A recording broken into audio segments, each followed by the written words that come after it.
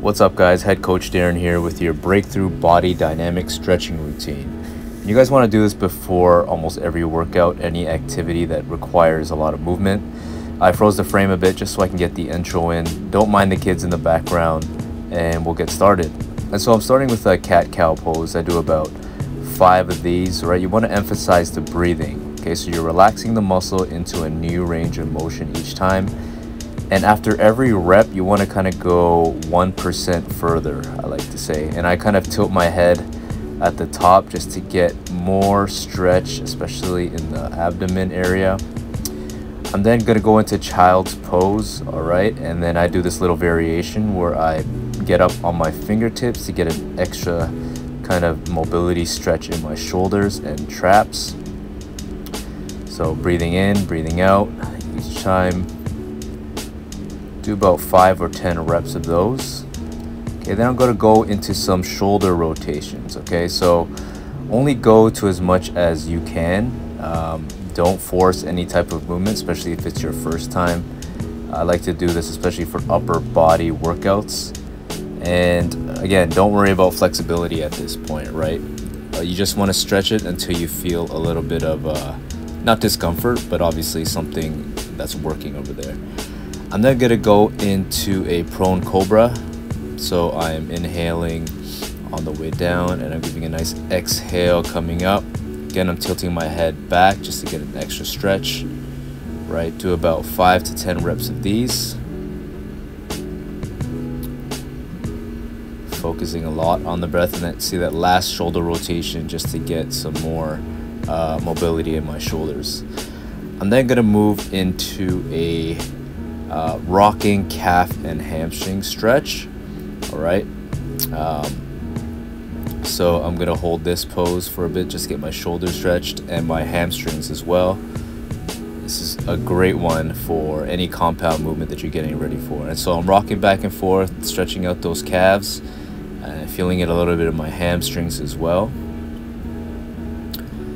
So again, Breathe in, breathe out. Try to go 1% deeper after each rep. And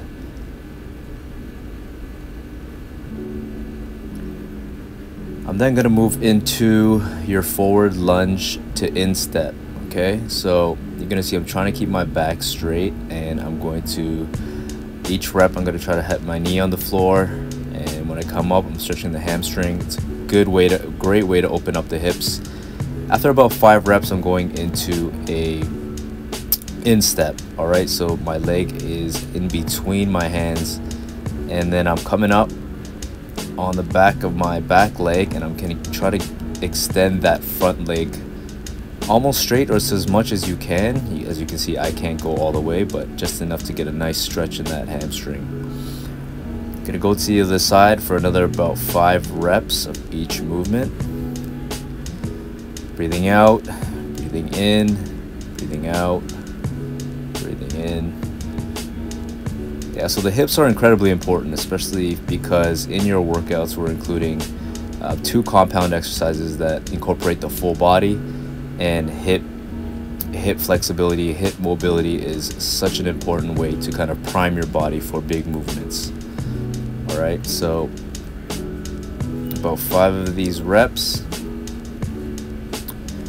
And then I'm going to, I kind of do this, I followed a YouTube video called The Five Tibetan um, Movements, something like that. And so it's just a great way to get an extension in your abdomen and your lower back and your upper back. So you're breathing in and you're crunching your abdomen together. And then a nice big exhale at the top. Go as far as you can without any pain or discomfort this is a great one to kind of just extend that back, get that lower back primed for movement. Um, most of the of, of these muscles that we're working out and warming up are usually dormant, especially if you're sitting for a long time at the office or whatever. So we need to fire up these glutes, the lower back, uh, the core especially. So now I'm going into the Asian squat, which is one of my favorite squats, right? And then you can see I'm kind of rotating on each of my my feet and my feet is fully flat on the ground. This is a great way to open the hip, open up the hips again. And what I'm doing here, I'm putting pressure outside to the towards the outside and my knees are putting pressure inside, right? To get that nice stretch in the groin and the inner hips. And I'm reaching high to get my a, a nice stretch in the back muscles. It's one of my favorite ones as well. And you should be able to hold an Asian squat comfortably for about five minutes. If you can't, try to work progressively towards it because it can do wonders for the hips. And here I'm doing a nice single arm extension, reaching as high as I can while focusing on breathing. Probably do about five reps of those each. Focusing on the breath again. Great way to stretch out the lats as well. And it looks like I'm moving towards my usual rollout okay? So I like rolling out the back. Whenever you round the back and then you come up sprawling uh, extending the hips like that again another hip, nice hip opener uh, almost fell there. So I'm rolling. You want to try to round the back as much as possible without any discomfort. This kind of works your spine. Yes yeah, so it's opening up the hips again this one takes a little bit of practice because you need to kind of um, get your your knee and your and your foot in the right place as you come up as you're alternating uh, knees. So you're going to roll again try to get more rounding in the back.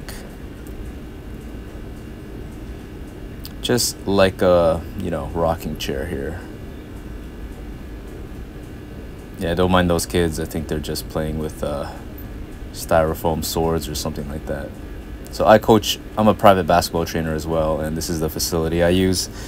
And yeah, so this is just a nice little hamstring, lower back, glute stretch.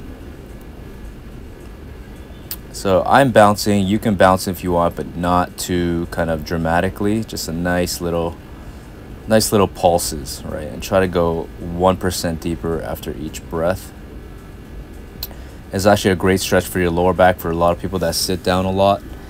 Um, a lot of people that feel a lot of back pain get a lot of a lot of tightness in their transverse abdominis, which which goes up down the lower back of your of your spine. And I'm just gonna do a few reps of those. Love doing these before things like deadlifts or squats. And this should actually be the last dynamic stretch. Um, I'm gonna go into our muscle activation exercises right after this so stay tuned